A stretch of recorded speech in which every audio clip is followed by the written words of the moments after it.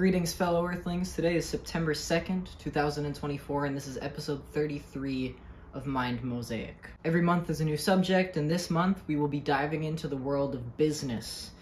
So let's get right into it and explore how the economy is rigged against us and what we can do about it.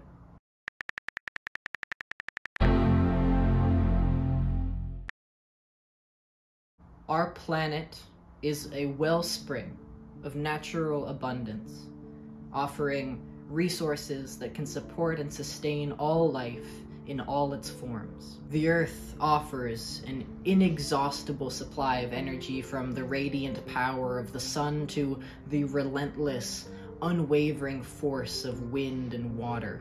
Imagine the Earth as a massive battery charged with energy, waiting to be tapped into by anyone who dares to harness it. Yet, despite this natural abundance, many of us are burdened by a gnawing sense of lack, a feeling of being unable to make ends meet, a sense of fear of, well, ultimately, homelessness and starvation. This is no accident. We've been led to believe that we have to compete consume and toil endlessly in order to acquire our share of the natural resources available on this planet. This belief is not rooted in reality. In fact, it is a carefully constructed narrative designed to keep us compliant as workers and voracious as consumers. Humanity was presented with this, and decided to create the 40 hour work week and minimum wage. Manufactured scarcity operates like a well oiled machine, manipulating our perceptions to keep us in a state of perpetual need. Corporations thrive on a sense of lack, convincing us that what we have is never enough and what we need is always out of reach. This manufactured scarcity serves a dual purpose. It drives up demand, inflating profits, and it keeps us tethered to the cycle of work and consumption. Afraid to step off the hamster wheel for fear of losing out, or worse. False scarcity, a tactic as old as commerce itself involves manipulating supply and demand to create a sense of urgency and need where there is none. Corporations often propagate the myth that good jobs are scarce. This strategy taps into our most primal fears fear of missing out, being left behind, not having enough. Ultimately, the fear of death and not being able to get by. These fears are the lifeblood of consumerism, and without them, the wheels of profit driven economics would grind to a halt. When we're convinced that something is limited, we're more likely to spend, compete, and conform, fueling a cycle of consumption engineered by those who stand to benefit the most from it. Nowhere is the illusion of scarcity more evident than in the fashion industry.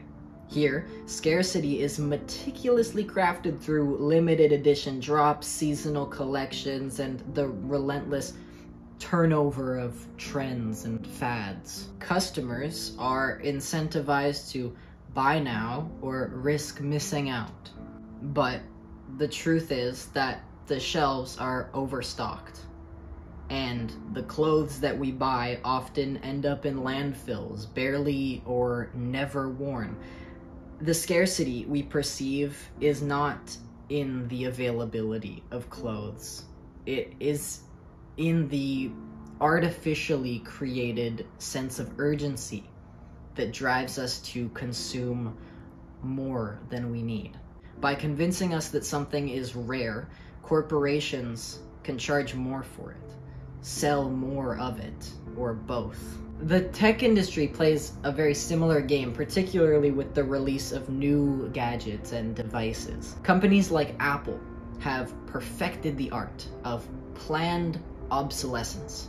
introducing incremental upgrades that make last year's models seem outdated.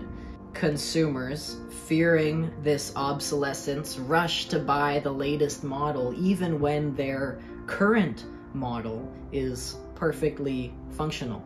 This cycle perpetuates the myth of scarcity, of always needing the next big thing. Planned obsolescence in the tech industry divvies up demand and profits while the planet bears the burden of excessive waste and resource extraction.